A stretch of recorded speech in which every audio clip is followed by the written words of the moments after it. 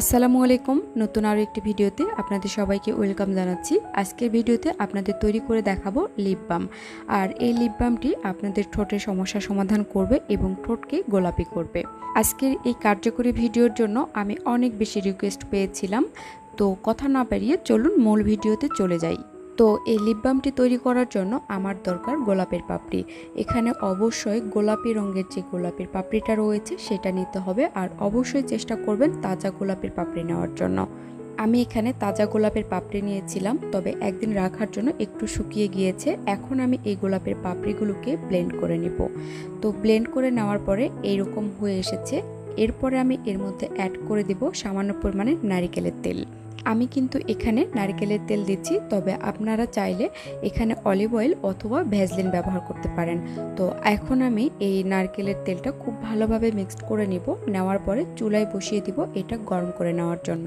তো প্রথমে একটি পাতিলের মধ্যে আমি সামান্য পরিমাণ পানি নিয়েছি আর পানিটা খুব ভালোভাবে আমি গরম করে নিয়েছি আর গরম করে নেওয়ার পরে আমি ছোট বাটিটা বসিয়ে দিয়েছি। আর একটা শক্ত জিনিস দিয়ে আমি ধরে নিয়েছি যাতে করে আমার হাতে গরম না লাগে। এখন এটা খুব ভালোভাবে গরম করে নিতে হবে। এরপরে এটা যখন ঘন হয়ে আসবে তখন চুলা থেকে নামিয়ে নিতে হবে। আর নামিয়ে নেওয়ার পরে খুব ভালোভাবে ঠান্ডা করে নিতে হবে। তো এই তো আমি এইভাবে এটা গরম করে ঘন করে নিয়েছি।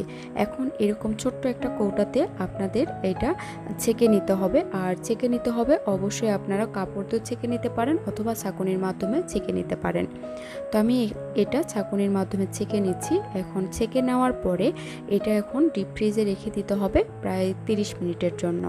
আর সেকে নেওয়ার সময় আপনারা অবশ্যই লক্ষ্য রাখবেন যাতে করে এই দানা দানা অংশগুলো না পড়ে।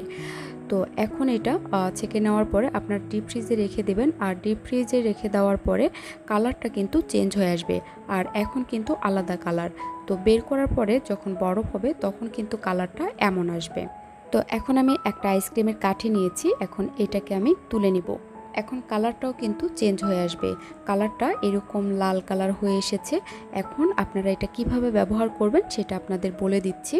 তো এই তো আমাদের তৈরি হয়ে গিয়েছে আজকের লিপ বাম আর এই লিপ বামটি আপনারা যে কোনো সময় ব্যবহার করতে পারেন, দিনে অথবা রাতে যে কোনো সময় আপনারা এটা ব্যবহার করতে পারেন। আর এই লিপ বামটি আপনারা নিয়মিত ব্যবহার করার ফলে আপনাদের ঠোঁটের যাবতীয় সমস্যা দূর হবে, সেই সাথে আপনাদের ঠোঁটকে অনেক বেশি গোলাপি করবে। তো আশা করি আমার আজকের ভিডিওটি আপনাদের কাছে ভালো লেগেছে। ভালো লাগলে অবশ্যই কমেন্ট করে জানাতে ভুলবেন না।